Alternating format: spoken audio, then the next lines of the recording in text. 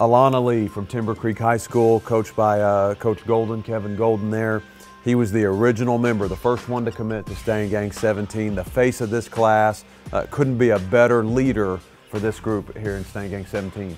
Yeah, I, I, you know, when you when you watch this young man and when he committed to us and, and meeting with his mom and dad and, and knowing the value of the education that we have here, um, another guy we took the tempo copter in to see, uh, this guy right here is going to come in and is going to help us out this year. There, there's no doubt in my mind. I know uh, we're all excited about him, as we are all our offensive linemen. Uh, Coach Fry is extremely excited about this guy.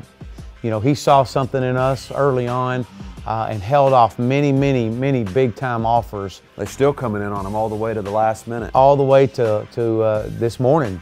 And uh, for him to be able to sit here and say, you know what, SMU is where I'm at. Uh, I'm not going anywhere. I love my coaches. I love that university.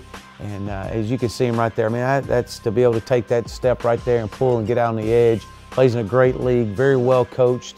Um, this is a guy, I'm telling you now, he's, He's, uh, we, we've had a home run hit on all our offensive linemen, and this guy's no different. He's going to come in and help us out immediately. Again, provide competition. He loves football. And uh, when you get an offensive lineman like this to be able to come in here uh, and, and, to be able to, to, say, you know what, I, I believe this guy can make a difference immediately. It's about the relationships with him. He's held off so many of these other schools. He's such a tight relationship with Coach Fry and Coach Craddock during this process has done a really good job. Those guys did a great job holding on to him. And that's what you want. You want guys that want to be here.